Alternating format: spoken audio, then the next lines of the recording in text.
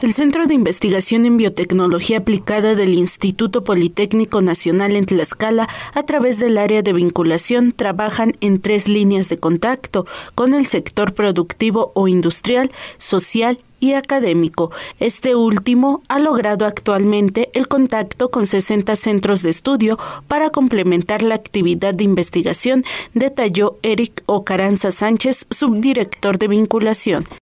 Por parte del sector académico tenemos contacto y tenemos ya convenios con aproximadamente 60 universidades e institutos a lo largo de todo el país.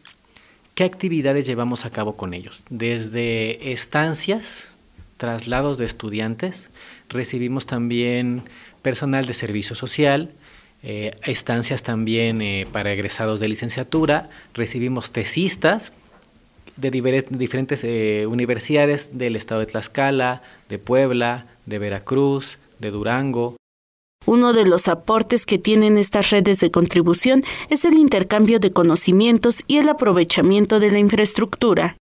Con los desarrollos y con las necesidades de infraestructura actuales es muy difícil que cada universidad, que cada centro cuente con la infraestructura, con los equipos analíticos necesarios para desarrollar una investigación de primer nivel.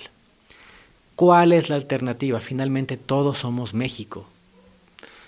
¿Qué hacemos? ¿Qué buscamos? Buscamos generar una red de todas las universidades. Tenemos a la UNAM, tenemos a la UAM este, Iztapalapa, la Metropolitana, la UAP, eh, la UAT, por decir algunas, en las cuales podemos compartir tanto la experiencia de los profesores e investigadores como los equipos que tenemos para el desarrollo de estos proyectos. Estas acciones de vinculación han permitido que estudiantes de licenciatura puedan fortalecer su profesionalización al tener contacto directo con la investigación, lo que en muchas ocasiones despierta el interés por sumarse a distintos proyectos. Para Sistema de Noticias, Diana Zempoalteca.